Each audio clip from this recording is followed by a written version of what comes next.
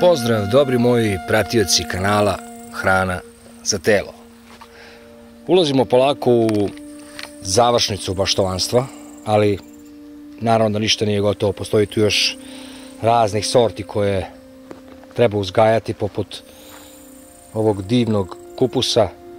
Međutim, ono što moramo stalno raditi, a sada i postoje određene potvrđene studije koje otkrivaju jako značajnu stvar za sve ljude koji se bave svake godine ovim divnim poslom, a to je saznanje da je kalijum zapravo odgovoran za, za funkcionisanje maltene svih drugih onih najvažnijih elemenata za naše biljke, azot, fosfor i kalijum.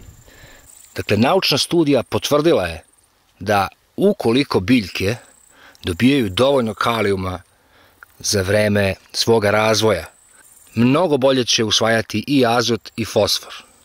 Kalijum je element koji je zapravo zadužen za maltene čitav metabolizam jedne biljke od fotosinteze do sinteze proteina, kao i zbog aktiviranja enzima u biljkama koje potom apsorbuju azot i ugljenik, naravno od koga je sve živo sagrađeno. Dakle, našu zemlju je potrebno s vremena na vreme obogaćivati kalijumom.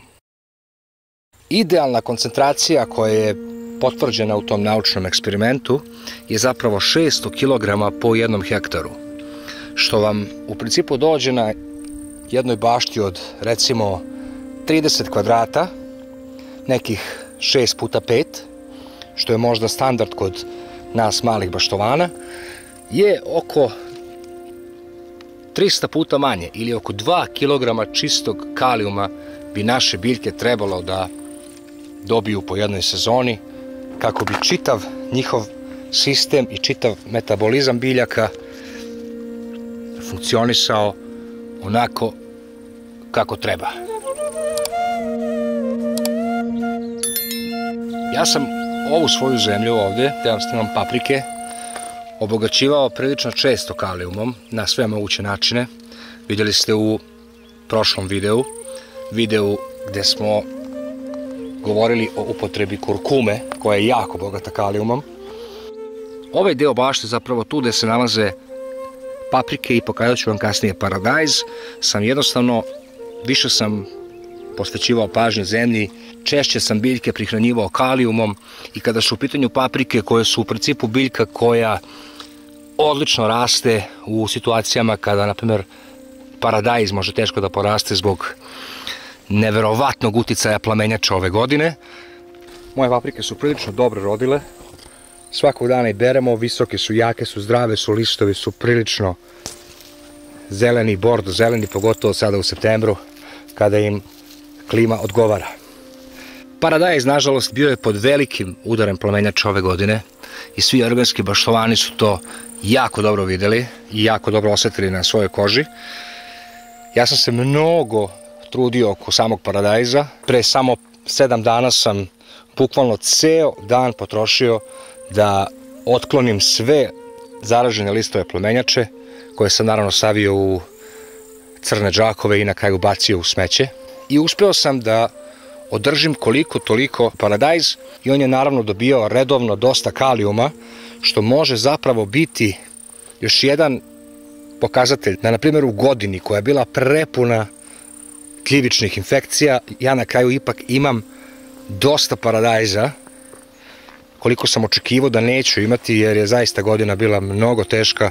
Tako da je ovo još jedan od odličnih pokazatelja da redovna prihrana kalijumom može zaista da vam na kraju spasi jedan određeni rod paradajza koji je bio desetkovan plamenjačom.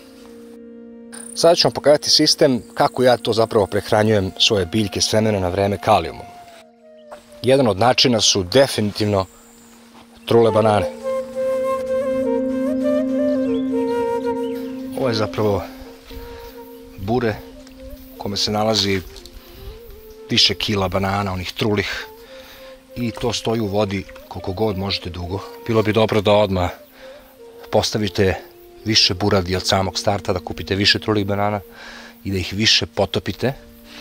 Tako bi uvek imali ovaj ovo zadnje bure gde su gde banane stoje jako dugo vremena. Samim tim dosta kalijuma je otpušteno u ovoj savršenoj dečnosti ostatak naravno možete baciti u tu sa strane gde sami kompostirate pokošenu travu i ostatke vašeg povrća kako bi sledeće godine imali kvalitetan humus, takođe bogat kalijumom. Pošto ja zalivam ručno, ni nemam sistem kap po kap, ja ne moram mnogo da vodim računa da li je ta voda, da li ima neke trončice. Za sve one koji imaju sistem kap po kap, bilo bi dobro da se ovo isfiltrira kroz nekakvu gazu, kako se creva ne bi zapušila. Napunio sam ovu čitavu kantu od desetak litara soka od banane. Kažem vam, ne mora srazmera biti savršena jer ovo je organski kalijum, dakle, shodno vašim potrebama, brojem biljaka i svega možete davati koncentrisaniji ili slabije koncentrisaniji rastvor. Bitno je da to radite često za vreme jedne sezone kako bi vaša zemlja imala dovoljno kalijuma i za sledeću godinu, naravno tako, zapravo samo poboljšavate vašu zemlju. Ovde sam sipao malo, možda više od polovine vode i dodat ću sledeću polovinu rastvora banane, što je zapravo pola-pola i sa tim ću zaliti danas svoje grožje jer je ono zapravo počelo da onako zri i pošto mnogo volim grožđe, hoću da ga nagradim sa ovim divnim napitkom. Ono što savjetujem svakoga da obavezno uradi kada prihranjuje svoje biljke organskim napicima, da slobodno malo rukom napravi po koju rupu, ovako, zapravo malo aerofikujemo zemlju, gdje god može da prođe prst, blago, ne mora ništa da bude mnogo, i onda da se dodajte naravno polako i jako je važno da prihranjujete biljke nakon kiše, dakle nikako kad je suva zemlja i kad je mnogo vruće jer zapravo tu samo izgubite sve ono dragoceno. Dakle, sačekajte da se osuši pa dodajte još malo. Možda još bolje od svega nakon toga bi bilo još pametnije da ovo pokrijete lepo kako ne bi isparilo.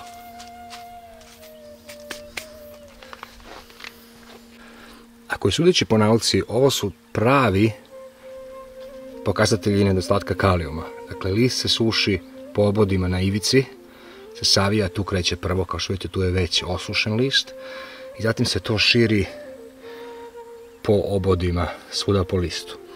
Dakle, ovoj biljci nedostaje kalijum.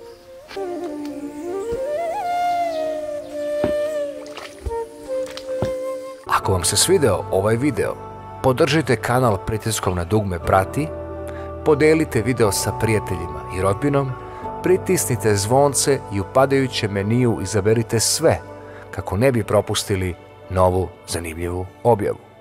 Hvala vam na pažnji i vidimo se uskoro.